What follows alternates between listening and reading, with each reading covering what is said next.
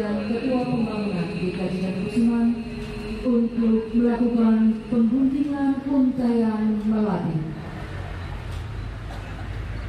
yang secara simbolis merupakan penanda resmi dibukanya gedung gereja GKJ dan Kusuman.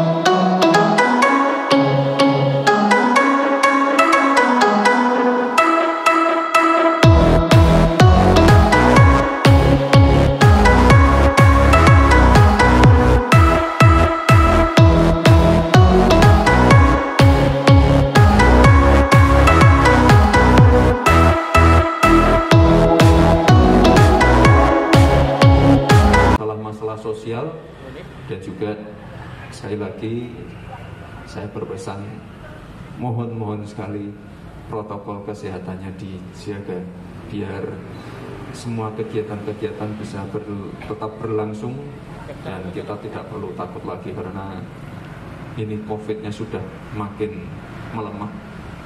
Itu saja Bapak Ibu, sekali lagi Pak Pendeta, selamat dan berkah untuk kita semua. Terima kasih. Wassalamualaikum warahmatullahi wabarakatuh.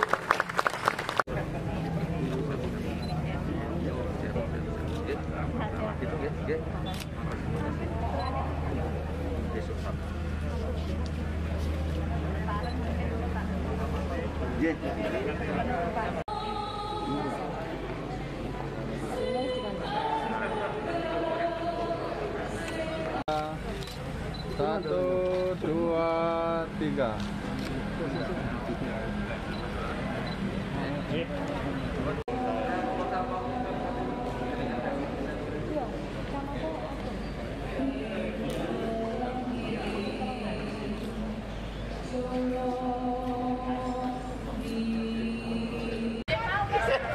Angka papat ya? Simbol dengan tanda.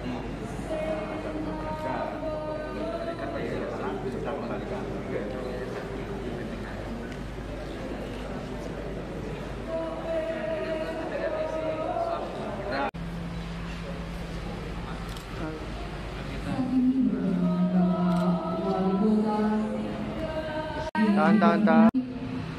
tokoh masyarakat, pimpinan FKUB, Forsitoga, Baks, Majelis dan Jemaat